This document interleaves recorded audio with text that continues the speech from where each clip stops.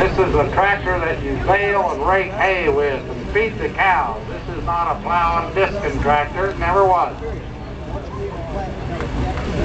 Taking a little bit to get it fired up because he's got to get both turbochargers working. But smoke out of that tractor will be white for a little bit because it is horribly decompressed. It has to make room inside the motor for the air, so they have to decompress it. Everything gets going right, that smoke will turn black, and then away he'll go.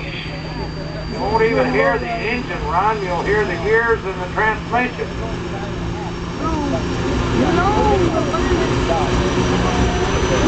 Roger McKim, Oskaloosa, Iowa, and Power Max. He's about there.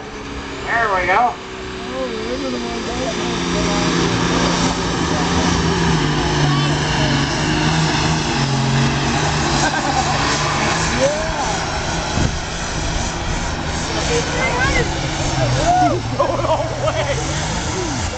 Good job.